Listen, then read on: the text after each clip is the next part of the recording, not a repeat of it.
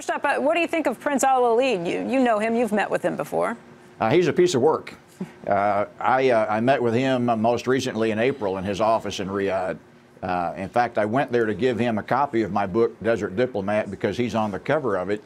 Uh, and he already had a copy sitting on his desk and had read it. So uh, he's one step ahead of, of the rest of us in many ways.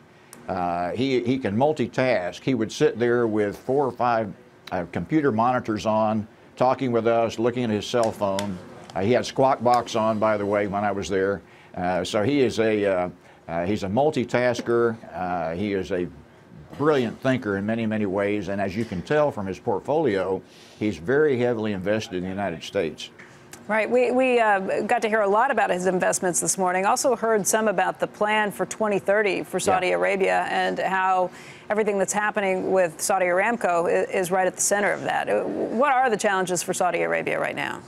Well, uh, focusing first on, on the Aramco IPO, uh, there's a lot that has been unsaid here that I think needs to be understood. The disclosure issues they're going to face are enormous. They've got to talk about what their reserve estimates are. They've got to be much more transparent about their governance. They've got to be more transparent about their sources and uses of funds. Uh, so we don't know the answers to many of those questions yet. And I think this is going to have a big uh, impact on uh, how they're able to structure an IPO, uh, what stock exchanges mm. they might be listed on. Uh, so that's number one. Uh, number two, I think Prince Alwaleed put his finger on something early in the interview, which is the uh, rapid transformation going on in Saudi Arabia. This Vision 2030 plan that the Crown Prince is, uh, is uh, spearheading uh, is really only a part of uh, a kingdom wide uh, change in focus. it's becoming a much more youth focused culture. over half the country is under the age of 30. So mm-hmm. this is a nation of kids right now coming up. They are desperate for jobs, they're desperate for uh, building their non-oil economy. Uh, and this is, uh, I think, a transformational process.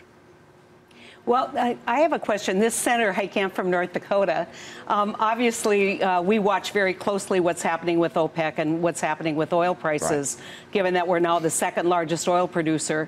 Um, what do you think generally is the attitude of um, the uh, increased production? Now we're we opened up the markets to exports. How, how concerned are the Saudis about uh, the United States as a major competitive threat? I think they're concerned. Uh, uh, our shale producers have really uh, been the ones who have added the uh, increased worldwide production over the last three or four years. It isn't the Saudis. Uh, and so I think they are very concerned that it has an impact on the price of oil, uh, and they've got to figure out ways to manage their production and at the same time keeping an eye on our production because it greatly concerns them. King Salman, of course, was just in Russia meeting with Putin. Uh, I'm certain that they discussed uh, production limitations uh, both between OPEC and the Russians, and I think they're very, both of them are very closely watching U.S. production. Hey there, thanks for checking out CNBC on YouTube. Be sure to subscribe to stay up to date on all of the day's biggest stories. You can also click on any of the videos around me to watch the latest from CNBC. Thanks for watching.